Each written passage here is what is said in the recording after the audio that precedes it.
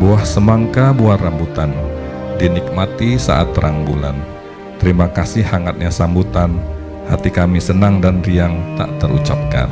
Atas nama keluarga besar, Bapak Selamat Suyadi dan Ibu Sarifah mengucapkan selamat datang. Hari ini, garis mohon kepada Bapak dan Ibu untuk merestui dan menikahkan Garnis dengan pria pilihan Garnis yang bernama Firman terima nikah dan kawinnya Ganis Rizky Dewi binti Slamet Suyadi atas mas kawinnya tersebut dibayar tunai. Marilah bersama kita akan menyambut kehadiran dari kedua pengantin kita, Garnis Rizky Dewi dan Firman.